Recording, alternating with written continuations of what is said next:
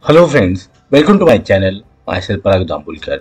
In last video, we have seen how to select values from the static drop-down.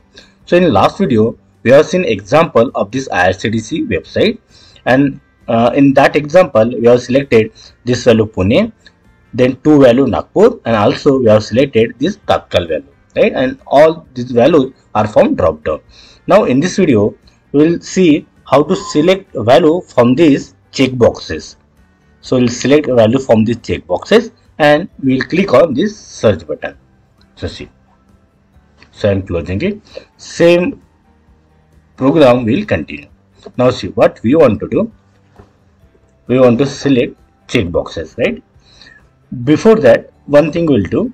Suppose we want to check how many checkboxes are there or what are the checkboxes those are available. Now see. So see i'm clicking here and inspecting it now see so here if I take when I'm taking cursor over here so all checkboxes are getting selected right? Now see we'll create XPath based on this. So here we'll create XPath based on this. So tag name div add and uh, we'll take this class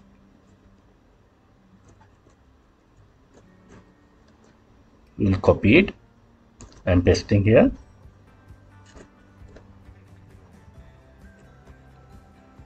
Single quote will put. Now see so three elements are getting selected. See uh, we want only one right? So we are putting in a round bracket.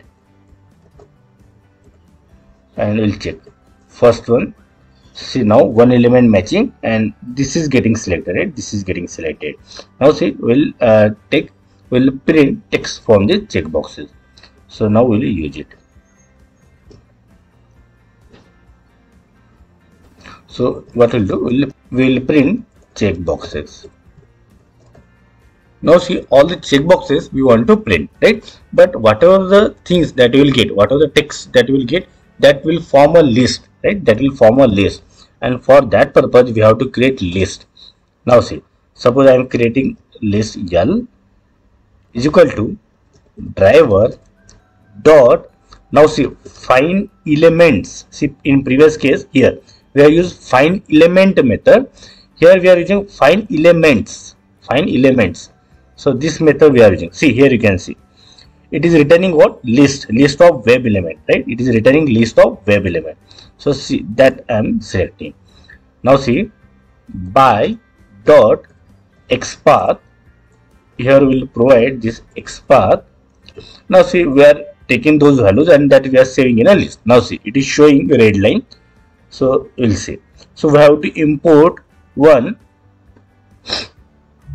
we have to import package for this list. Now see so it is not showing but see.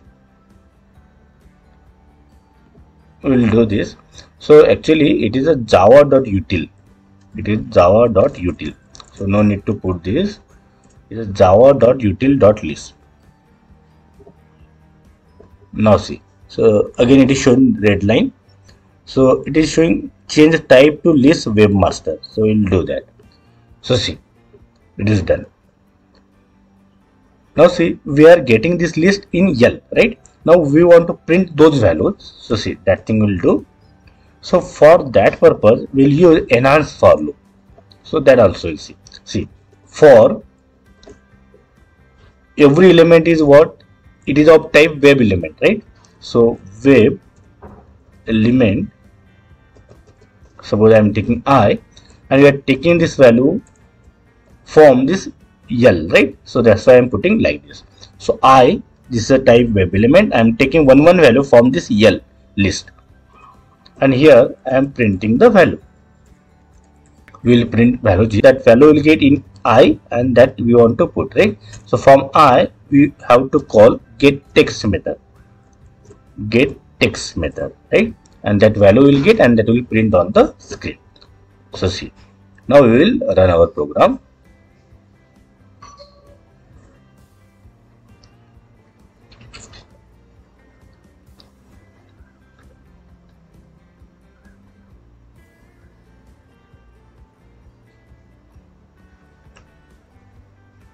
So see.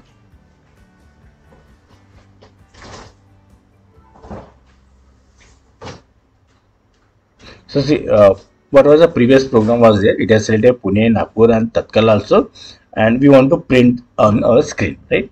So we'll close it and here you can see, see what are the the check, uh, check boxes were there. So all, all values we got here, right? Now what we want, we want to choose, we want to click, we want to select one checkbox, right? So that will do. So we'll select one checkbox. Suppose we want to choose this checkbox okay? It's flexible with the date. Now see we'll inspect this. Flexible with the date we'll inspect it. We have to click on this. So see when i'm taking here so it is getting selected. So we'll create XPath based on this. Now see. So slash label and we'll use text. Text see already it is showing here so we'll select from here.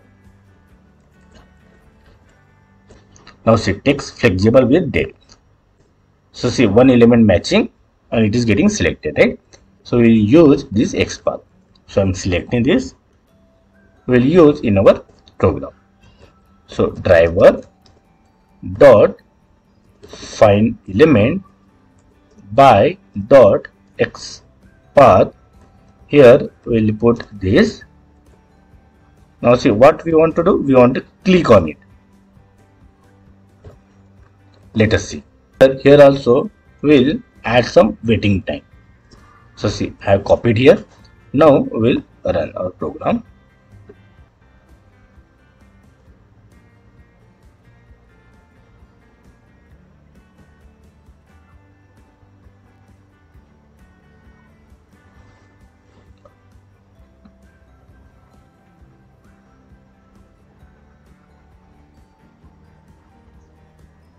So here you can see. See this was our previous program and this flexible with date this checkbox also is getting selected.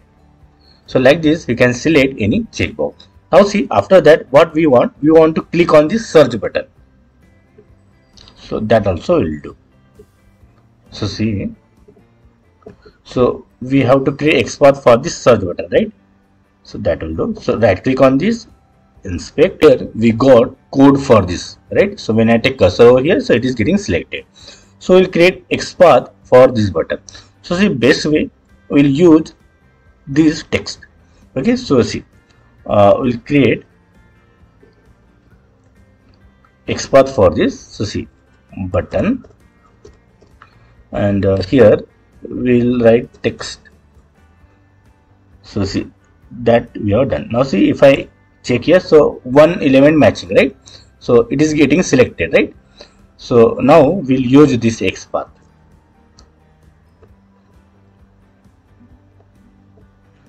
so see after this we want to click button search button.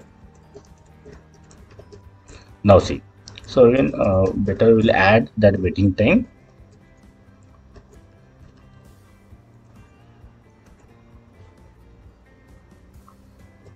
and after that we will add here driver dot find element by dot xpath. Here in double quote we'll paste it. And what we want to do we want to click here right? We want to click here. So we'll call click method. Now so we have done. Now we'll run this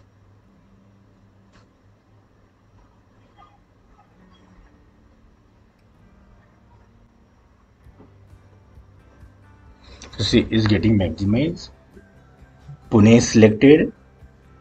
Nagpur is selected. Tatkal is selected. Then that checkbox is selected. And it clicked on search button. And here we got the result right? So everything we have automated. So see. So in this video what we have done so previously we have selected some values from the static drop down and in this case in this program we have seen how to select values from the checkboxes and also here we have printed all the values from the checkboxes then here we have selected one value from the checkbox and then we have clicked on this search button. So in this way we have automated this thing So friends, I hope you like this video. If is then click on like, subscribe to the channel and don't forget to press bell icon so that you will get notification of my next video. So stay connected. Thank you.